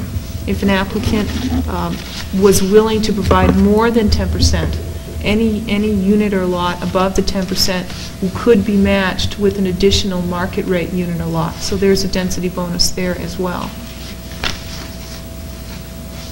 Okay. Uh, I I didn't mean to slight you, Janet, as far as chairman. Did you have anything to add to these discussion points as far as... No, I I thought Ma- Maureen did a wonderful job of uh, presenting things. I guess the only other thing that we wanted to say was about the speaker at the workshop, but perhaps you want to mention that at a later No. date. Yes. Um, Ann Gass is Director of the Cumberland County Affordable Housing Ventures, and she's been working in this region for a couple of years now, working with different types of affordable housing initiatives. She's agreed to come to the planning board's uh, December 4th workshop, and we'll be um, talking about affordable housing. If there's anything in particular the board would like her to provide information on, um, and if you want to let me know about that, I can ask her to do that. In particular, what I have asked her to do is to give us some updated numbers on what, what 120% of the median income for Cape Elizabeth is in 1990, what an affordable unit would be to that income in 1990, to compare that to the region, and also to talk about some of the mechanisms that are being used to preserve affordability of and units. So she, she's available for a variety of other information. Good. And uh, I can also get you some additional things that she's been sending me prior to the workshop. And she's, is is she invited for the December 4th meeting? Yes, Good. she's confirmed to come. Great. Is she also knowledgeable about what the group in Greenfield is doing, Greenfield, Mass? I can ask her. I- I'd be interested in in that program.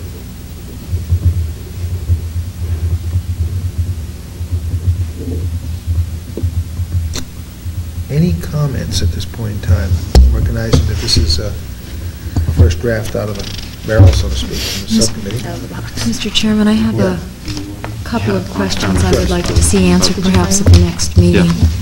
Um, One was the 120% in Cape Elizabeth, and I'm glad we'll find that out.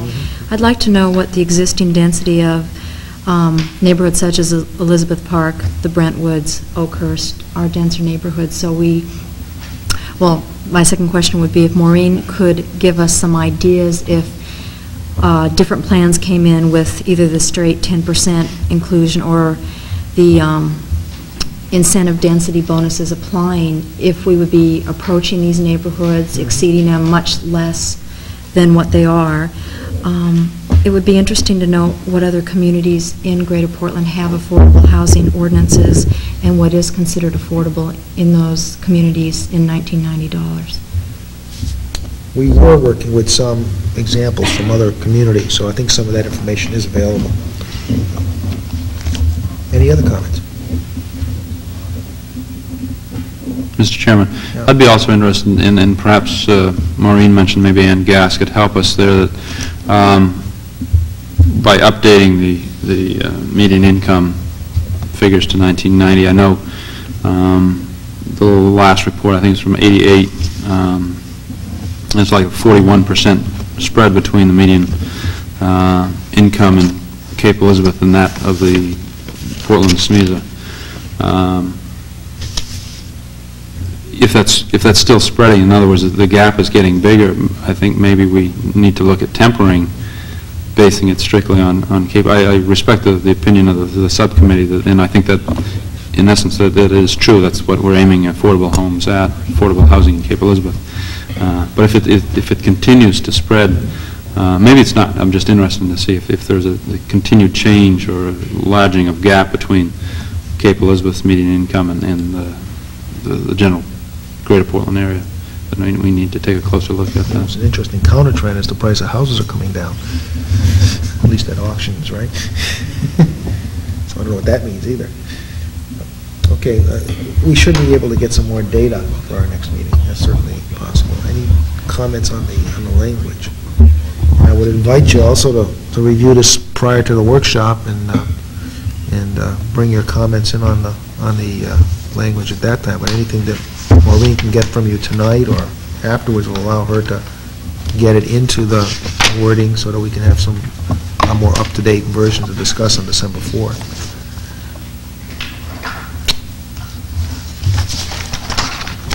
Uh, Mr. up- Chairman? Actually, we are up against a deadline, aren't we, at this point in time?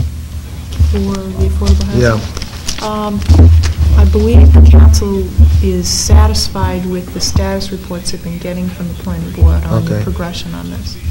Good, so that we're not being lashed at this point. Right. Okay, I think it was last February was the deadline. something like that. We're almost a year behind. Tom? Uh, There hasn't been any discussion, um, I don't believe in the, sub- maybe just some brief discussion in the subcommittee format, and maybe at last week's workshop, about the ideas of guidelines. That is, um, lot size, location of houses on the lot. Um, And I know that in many ordinances, that works, um, that's very helpful to the planning board in evaluating different development alternatives for different development approaches, so to speak. Um, I don't know that Portland, even with their sophisticated technical uh, ordinance section of the standards of their ordinance, uh, has addressed that other than in manufactured housing. Um, Is is this anything that you have examples of, Maureen, that uh, you think might be helpful to us at the workshop? In terms of, of setting homes on lots and... Yeah, if we're talking about 10,000 square foot lots or smaller, um, eh, that's right, and how they're placed one, one to the other, and Um, I, I, I could pull some things together for you. I'm not aware of, of- my experience has been that, that usually there's a lot of hesitancy to control how people place their homes on their lots, other than to put on setback requirements. Mhm. But, you know, to that point, there's so much that you can do in terms of, I don't know whether you can set it up as standards, but I think the landscape architecture must be able to give us some guidance. I know, I I just came back from uh, touring Williamsburg, Virginia, and it's like this village the corner thing.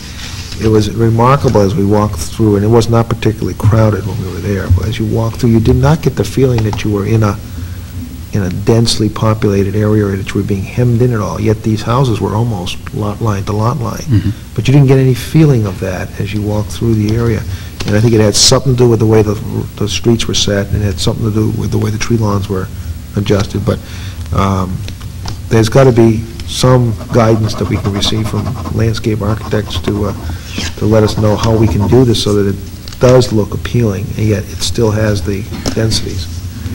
It Can be done, and all I'm saying is, I, I don't know what the visual aids are that can happen, and whether you can even write it into an ordinance.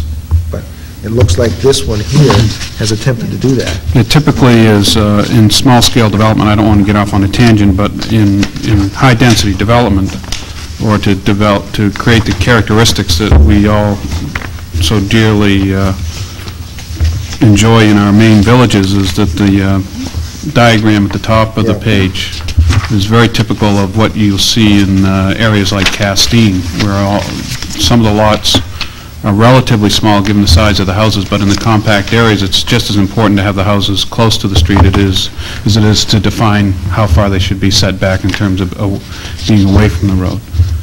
As I recall, we did discuss this, and we, and we discussed the issue that amenities like fencing, uh, fences and uh, driveways, those sorts of amenities that, that can provide unity throughout a smaller, a a tighter knit uh, development are, um, at least in the experience I had at the seminar, was something that many developers discouraged communities in adopting in that uh, they want us to be aware that they're on a very tight budget, and the more of those sorts of amenities that we tack on, the more difficult it is for them to provide uh, affordable housing. Um, I, I- from my professional background, I can say that I think it- it's extremely uh, important that some sort of guidelines are developed, or that as developers come before us with development proposals, that they demonstrate to us how they're creating a sense of neighborhood rather than just dense packing uh, a project. Um, And it's amazing, as you notice, what, what a- a couple of amenities Yeah. consistently Doesn't throughout yards and some, not, not everything being the same, but how that unity helps to really Yeah. help pull a- an area together and define a neighborhood. It's amazing. Any other comments?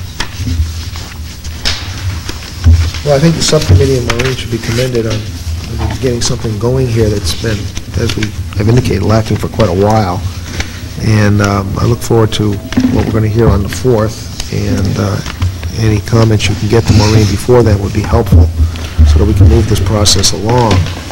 Um, Once again, I'm not sure we're ready to entertain a, a motion on a hearing at this point in time. I'd like to see this thing gel a little bit more myself and get into a little bit more discussion, maybe into more informal uh, nature of a, of a workshop centered around an expert giving us some guidance, um, so that we get a little bit better feedback.